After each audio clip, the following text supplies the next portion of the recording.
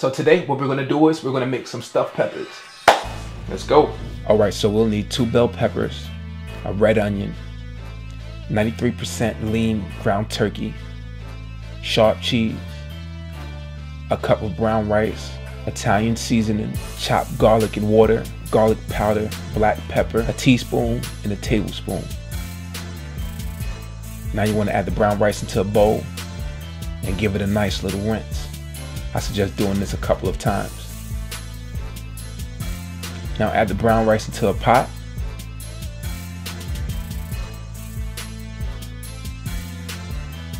Add one and a half cups of water. Turn the pot on medium and let it cook for about 15 minutes. Preheat the oven to 400 degrees for the bell peppers. Slice that red onion up. Spray the pan with calorie-free olive oil cooking spray. Add about 12 ounces of ground turkey. Add 1 tablespoon of garlic powder, 1 tablespoon of Italian seasoning,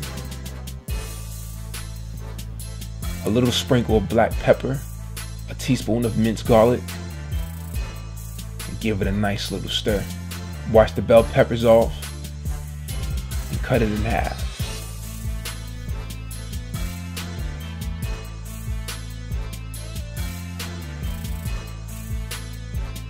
So for this part, I want you to be safe.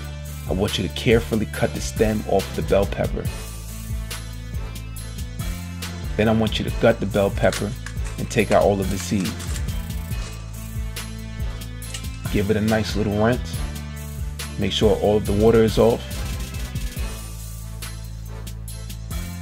Put it on a baking sheet. Put it in the oven. Let it get warm. So right now I'm gonna check my brown rice to make sure it's, it's nice and soft and fluffy. Okay, so my rice is okay. Sometimes when it comes to cooking brown rice, you know, the water may evaporate sometimes quickly. So I would suggest adding water accordingly. You know, start off with a little bit of water, you know, let it sit for a little while, taste it, and then if you need a little bit more, add a little more, and you know, until it's, it's about done. All right. Mix about two and a half spoonfuls of brown rice with the turkey. Give it a nice little stir. Add about two ounces of cheese on the top. Mix it in. Take the bell peppers out of the oven. Now stuff that bell pepper. Stuff it. Add three ounces of cheese on the top.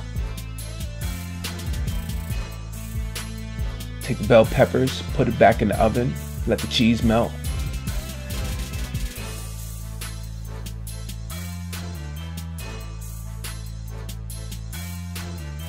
There you have it. My stuffed pepper. Now if you want, you can add a P to it, which stands for Patrick with the sriracha. For full recipe, check out the description box. Never visited. Hey, listen, we're trying to help. Looking so good. My confidence levels were low.